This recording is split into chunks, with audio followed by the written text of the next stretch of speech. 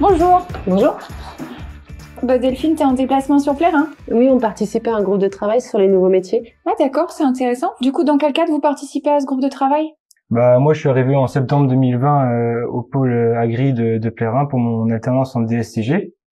D'accord. Et puis j'ai commencé à mi-compta début 2021. Du coup, j'ai intégré le groupe de travail euh, à mi-compta.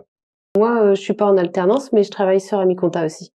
Ah d'accord, ça fait longtemps que t'es arrivé chez Safrance Euh, je suis arrivée en 2014 et aujourd'hui, je suis comptable ACS à l'agence de l'emballe et je travaille sur Amiconta depuis euh, l'automne 2020.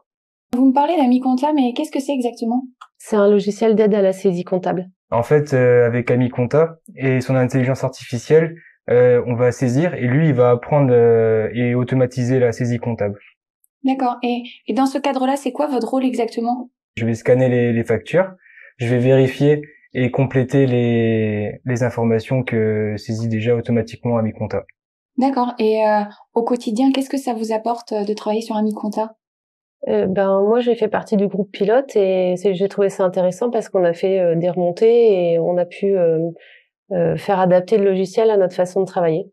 C'est surtout un gain de temps pour les dossiers avec un gros volume de, de factures, contrairement à la saisie manuelle, mais par contre, on doit parfois encore euh, se déplacer chez l'adhérent pour aller chercher ses classeurs. Moi, mes dossiers sont passés pour beaucoup sous Makinexo et du coup, les factures euh, passent directement dans Amiconta. Et euh, j'ai plus besoin de scanner les factures ni d'aller euh, chercher les classeurs chez les adhérents. Par rapport à ça, du coup, euh, j'entends parler que votre métier il va évoluer. Et au regard de ces nouvelles évolutions, com- comment vous voyez la chose, vous, de votre côté? Comment vous envisagez euh, votre métier? Avec de plus en plus de digitalisation et Makinexo et Amiconta, c'est les premières marches pour euh, s'habituer au digital. Moi, je suis plus pragmatique parce qu'à l'instant T, je veux gagner plus de temps. Et j'ai, j'en ai parlé avec des adhérents, eux aussi, ils sont très favorables au, au gain de temps et l'automatisation des, des échanges. Et euh, par rapport à, à tout ça, est-ce que demain, euh, au regard de ces évolutions, votre métier existera toujours? Comment vous voyez l'avenir?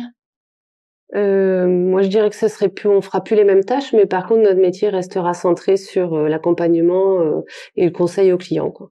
Avant, on manipulait du papier. Maintenant, on va manipuler de la data. Et donc, euh, on n'aura plus besoin du, des, des classeurs pour aller chez l'adhérent, juste notre ordinateur. bah, En tout cas, merci beaucoup pour cet échange parce que j'ai appris des choses. C'est très intéressant. Et euh, bah, au plaisir de rééchanger avec vous. Bonne journée. Merci, à bientôt. à bientôt.